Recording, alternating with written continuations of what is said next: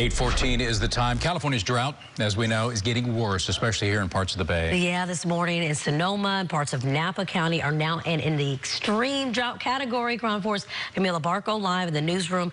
You've been tracking that, and it doesn't seem like it's getting any better, right, Camila? That's exactly what I was going to say, Reyna. At least 37% of California is in an extreme drought, and that includes parts of the Bay Area. Just a few days ago, I saw parts of Sonoma County that were under a severe drought, but now almost all of it is under an extreme drought, and the situation has not gotten any better. This is what we're waking up to this morning.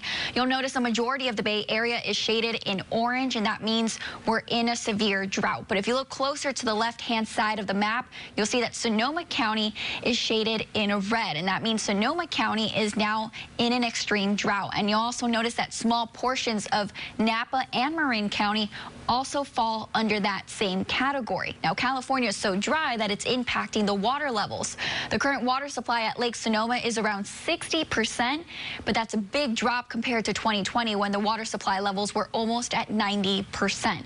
State reservoir levels are at about 70% of average. And since water is so scarce, California water officials are cutting back on the amount of water they distribute to places across the state and they normally give about 15% of water, but now they're distributing 5%. And Reyna James, they're doing this after a historically dry January and February. We're coming to the end of March and still very little rain. I think we saw a few droplets over the weekend, but now state officials, state water officials are warning people to brace for a third year of drought. So, of course, conserve your water. Mm. That's right. Take as much as we take one bath a week and water the lawn.